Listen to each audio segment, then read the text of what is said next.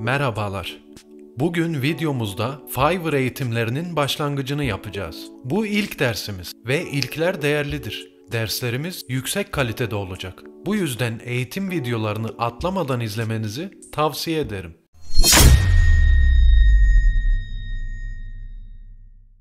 Bugün giriş videomuzda Fiverr'da satıcı hesabına geçişteki süreci anlatacağım. Fiverr'da standart üyelik oluşturmak kolay.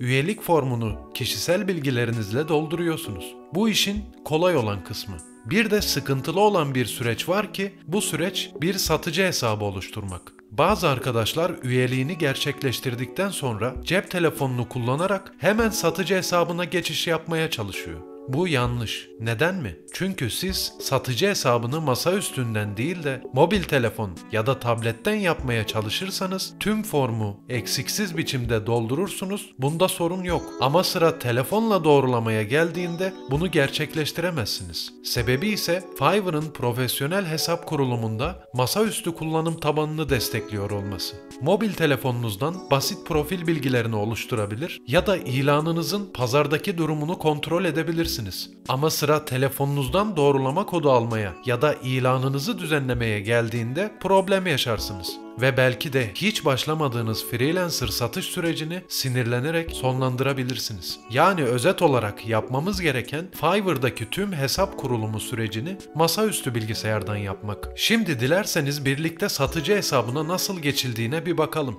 Fiverr'a standart üye olduktan sonra profil fotoğrafınızın üzerine tıklıyorsunuz ve Become and Seller seçeneğine giriş yapıyorsunuz. Burası Fiverr'da ücretsiz bir dükkan kurmak için ilk adım. Dilerseniz Google Chrome'da yaparak siteyi Türkçe dilinde kullanabilirsiniz. Daha sonra satıcı hesabını sorunsuz biçimde oluşturmak için Continue dedikten sonra karşınıza çıkan formu eksiksiz biçimde ve gerçek bilgilerinizle doldurmanız gerekli. Buradaki tanıtım yani açıklama kısmı önemli. Bu kısım belki de bu sanal ticaret pazarının en önemli yeri. Burayı nasıl dolduracağınızı bir sonraki derste anlatacağım. Kafanızın karışmasını istemiyorum. Şimdi bu kısımda neler var? Meslek bilginiz, yeteneğiniz, sertifika bilgileri, okul bilgileri, lisan, web sitenizin domain adresi gibi doldurulması gereken bazı bilgiler var. Web siteniz olmayabilir. Zoraki bir web sitesine ihtiyacınız yok. Bu gözünüzü korkutmasın. Benim de bir web sitem yok. Ama ben bu kutucuğa Fiverr profilimin linkini yazdım. Siz de Fiverr'daki kendi profilinizin linkini web sitesi bölümüne yazabilirsiniz. Herhangi bir problem çıkarmaz. Bir sertifikanız da olmayabilir.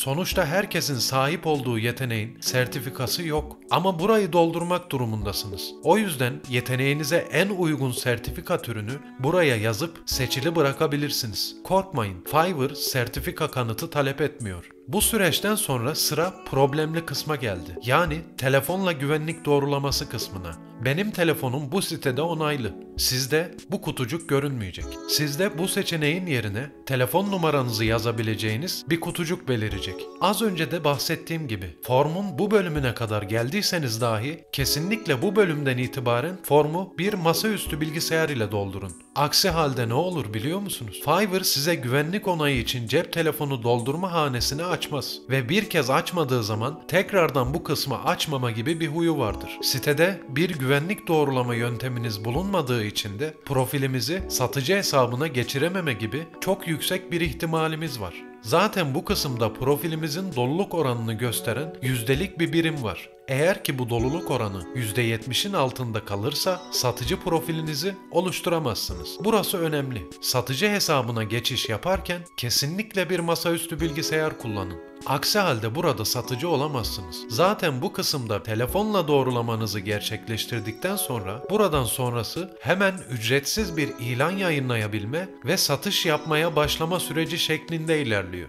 Bu serinin ikinci dersinde Fiverr'da yeteneğiniz olmasa dahi 5 dakika içinde nasıl bir yetenek edinip satış yapabilirsiniz konusunu anlatacağım. Kafa karışıklığına sebep verip sizleri sıkmamak için buradan sonrasını diğer derse bırakıyorum. Hepinize verimli ve bol satışlı bir freelancer hayatı diliyorum. Diğer derste görüşmek üzere. Hoşçakalın.